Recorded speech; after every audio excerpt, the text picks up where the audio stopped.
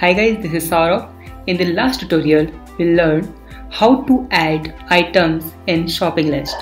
In this tutorial, we will learn how to remove items from the list and store these items in our mobile phone permanent. Okay, so here we go. First, I'm going to design my buttons. So I'm going to change background color for adding to something green okay uh, no I'm going to use your tile. I love tile color. Oh where is it? It's something like okay done. And for remove I'm going to use red. And for clear all I'm going to use something pink. Fine. Now that's the design here. You can see that's my app here.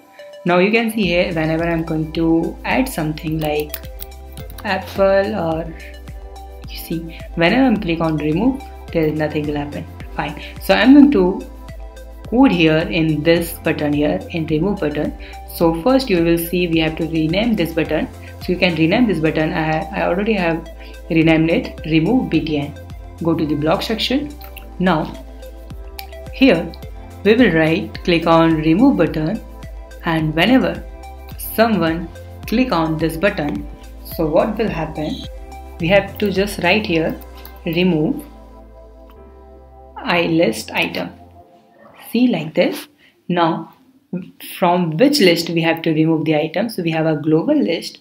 So you can see here get global shopping list. Now second we have to remove the item. So which item we have to remove? That's the list. We are not going to remove the all items from the list. We are going to uh, here uh, remove only one item. So that's the index. So we have to point we are going to remove the first item from the list. So you have to just type here one. If you are using array so don't be confused. Here first item means one. Okay. Now we have to update this list also. So I'm going to copy paste this set list item list view dot element to global list and store this value again to tinydb right? Simple. So we have removed successfully. Let's test this. So I already have entered something. I am going to enter or something like orange or mango and mango 6 7 etc and you will see here item. Whenever i'm click on remove one you will see first index. It means first one is orange this one is remove. Whenever whenever i'm click on remove again you will see orange will remove. Fine. Click on again and again. You can add items here again like this. Fine. Now we are going to code for clear all. Okay. So what we need to do you need to click on button 3 it means that one is button 3 I'm going to rename it clear btn click on ok. Go to the block. Now whenever someone click on clear btn what we will do we have to set this global list as an empty list. So what we will do set global list to this one create empty list fine. We have set this empty list to our in a global variable. Now we have to set the element copy and paste from here like this and we are going to store this value. It means nothing in database. To display it. Fine. Now i'm going to just run this. I already have run this up. Let's test it. Apple car bike.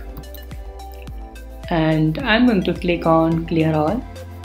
You will see all all items are gone right now. Fine. Now the most important thing how to save this data. Whenever you close your app your data will remove from this app. So how to store this data? So there is one thing. Whenever you store this data this data will store in your phone but we have to fetch this data from our phone. So how to do this? So whenever we open our app, it means our screen will initialize. It means when screen one dot Initialize drag and drop this then we have to set copy and paste this set list view one dot item list 2 but which item we have to set here? We have to get the value from tinydb so click on tinydb and you will see here get drag and drop this here like this. And which tag we have to get? So we already have you know that. That's the tag here. We store the value or all value or list in this tag list tag. And the important thing is we have to set this in our list so what we will do set global list to list view. So click on list view item and list view dot elements. Like this. So i'm going to build this app. Okay provide qr code and download this app and install this app. So here you can see that's the app here. Now i'm going to click on this app and you will see i'm going to uh, add some items here. Okay and uh, i'm going to close this app. Fine like this. Okay now i'm going to open this app again and you will see the value is here. Fine so this value is saved in your own mobile phone. Fine. So that's very easy way to create an app for your shopping list. If you have any doubt you can ask me on comment thank you so much for watching this video. Please subscribe my channel like this video share this video and if you have any doubt you can on you can comment on this video. Have a nice day. Be safe. Bye bye